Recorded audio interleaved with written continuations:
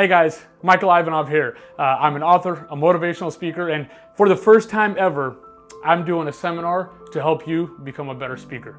Now, whether you want to be a motivational speaker, you want to be a better preacher, you want to be just a better communicator, uh, we're gonna get together in a room for two days and we're gonna work on your story. We're going to work on your body language. We're going to work on your preparation uh, and, and, and on your mindset to help you understand what it takes to be a good speaker, a good communicator, and also have the confidence to be able to get up in front of people and motivate people, move people to action, to share your story, and to inspire people.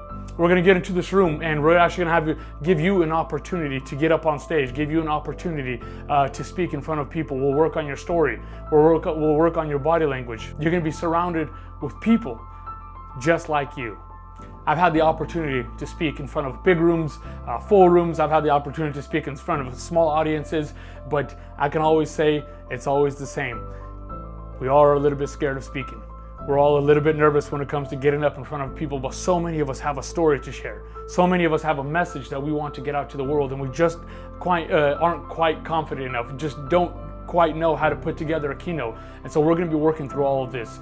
Um, if you want to come spend time with people who uh, are inspired, people who are looking for something better for themselves. You know, we're uh, we're living in a, in a in a crazy year right now, in a crazy time where so many of us are having to rethink our careers. So many of us are having to rethink uh, what we do right now for a living. And so uh, maybe it's time that you step out and you go and pursue that dream.